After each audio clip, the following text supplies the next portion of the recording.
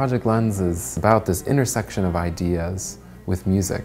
We really want to invite audiences in for an evening where they enjoy some works from the classical repertoire and are exposed to an idea or a theory or a story that somehow interweaves around those classical pieces and illuminates them in a new way. I'm a science communicator, so to have an opportunity to expand the sort of modalities whereby I am involved with science communication is wonderful. So this is a different audience, this is a different way of doing it. And two, I like music. So as a twofer, this is pretty irresistible, I have to say. We're inspired by shows like Radiolab and TED Talks and This American Life, and we wanted to create something where we could incorporate that kind of presentation into classical performance. And so the idea of Project Lens really evolved from there. We want to cover the whole spectrum from biology to philosophy to law to birdsong to humor to you name it. We want to go there and create an event around that topic. The presentation itself is going to use a lot of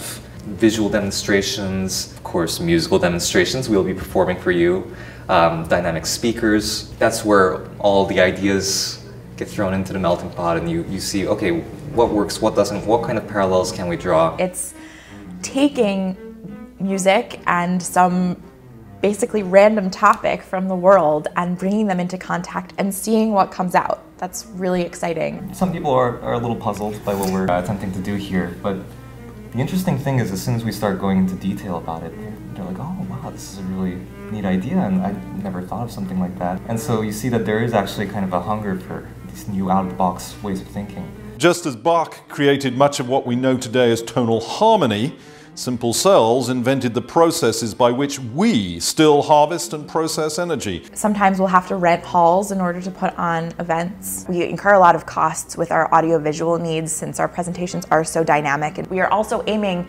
to record all of our events, both video and audio, so that we can eventually stream those online for the whole world to see. We're going for a really universal approach, and we have, we have huge goals and, and, and huge ideas that we're trying to get across. To do that, we need a lot of support.